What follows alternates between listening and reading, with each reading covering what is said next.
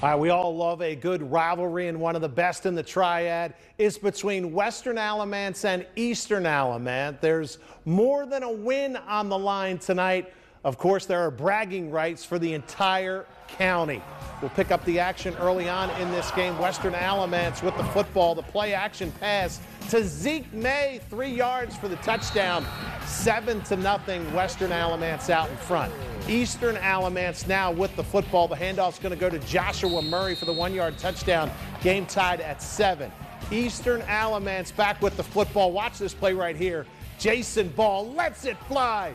And Taraji Rogers is there for the leaping catch right there. How about that? Keeping the drive alive.